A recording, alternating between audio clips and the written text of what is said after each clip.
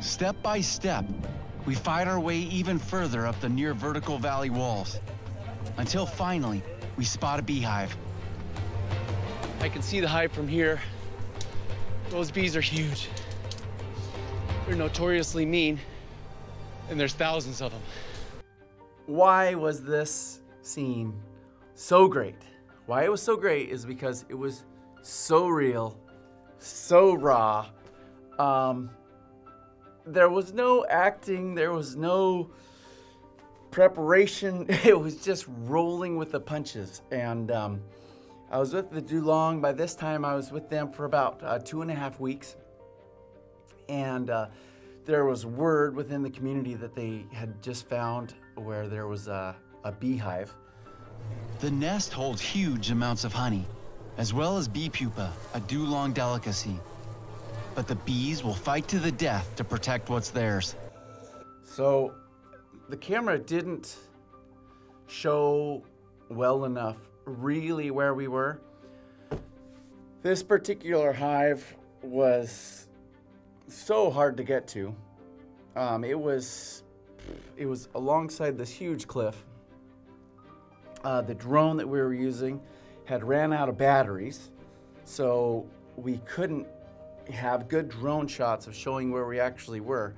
But we had to climb up this cliff for about 300 feet, and we're just scrambling, holding on to little roots, to whatever we could to get up there.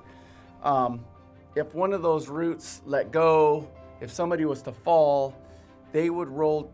I mean, it would have been. There's a good possibility that somebody could have even been killed.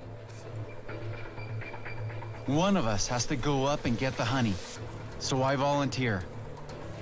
But the hive is clinging to an overhang, high up in the cliffside, and the challenge to even get to it is immense. So we're just barely perched on this granite cliffside. So we're making this ladder something that I have confidence in because if this ladder breaks, I'm gonna be falling potentially hundreds of feet.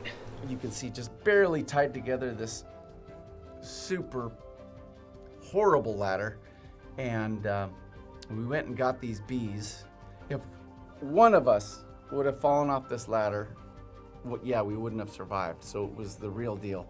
And then we're up on this super sketchy ladder. Of course, they sent me up to the top because I was the one that wanted the honey the worst. As soon as the smoke clears, it's time for me to make my move.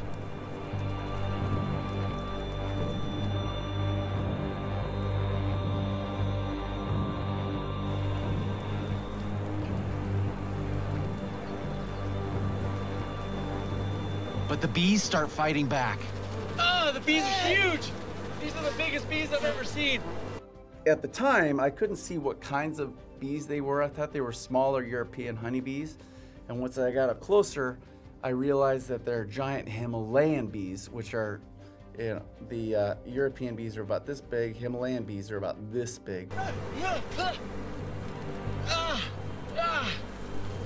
You just gotta muscle through the stings. Ah.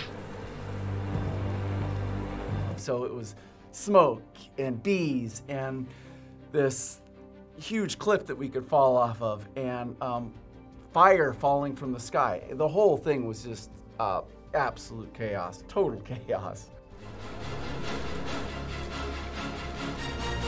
They just pierced that comb and honey's just dripping out. I catch it with my bamboo container. I'm just trying to get as much of that honey as I can. Great scene, great. Uh, everybody survived, so it was an amazing experience. If you like what you've just seen, please don't forget to like, comment, and subscribe.